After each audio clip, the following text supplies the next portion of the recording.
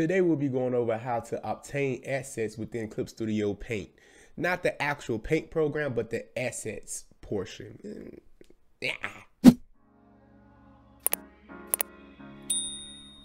What's up everybody? It's me, Dreams with Dreams Impact Comics here. Today's video, I'm gonna go over how to purchase assets using gold coins within Clip Studio Paint. Also, before I carry on with this video, I want everybody to know that this is a collaborative video that I'm doing with a good friend, King Sikes.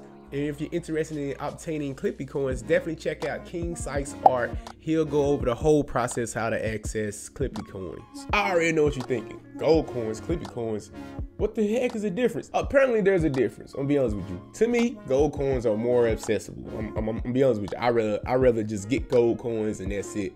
But you can get a lot of more extra crap through Clip Studio Paint if you have Clippy coins. All right, let's go get these gold coins once you once you have Clip Studio Paint, there is an extra software that comes with it called Clip Studio. Clip Studio is pretty much the the hub of where you can get all your information. Um, it shows you some of your past work. It shows you your cloud, and also before you even can even get gold coins, by the way, guys, don't forget to log in. Once you log in, you're gonna go straight over here to the side bar over here. You're gonna go to Clip Studio Assets and find brushes and more.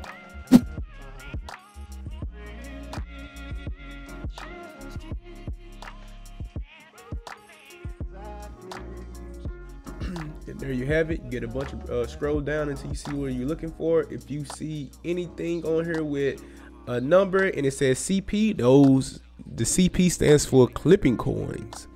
Clippy clippy uh clippy uh, coins or clippy points whatever you want to call them but if you see the g next to that number that is gold coins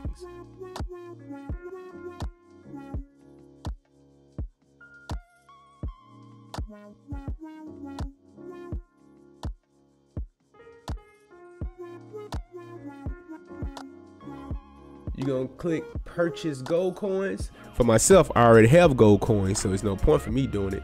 And once you get to this page right here it should ask you two different uh, give you two different options. The two different options are gold auto charge. You can pretty much you know register. It says by registering and setting up your credit card in advance you can automatically top off when your gold balance is low.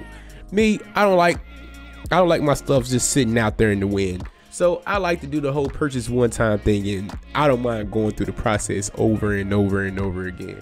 You're gonna purchase and you're gonna select whatever amount that you're looking for.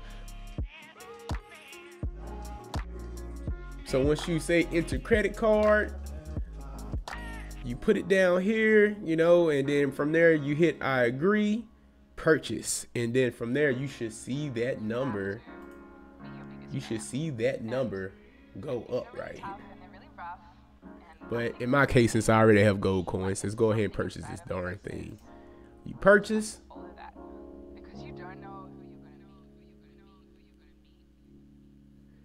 And if you see this little arrow right here in the corner, it said it pretty much says it's downloading. And how do you know you have the asset? Let's open up Clip Studio Paint. And then we're gonna go over here to this tab with the arrow down slot, downloads, and it's the first thing that comes up.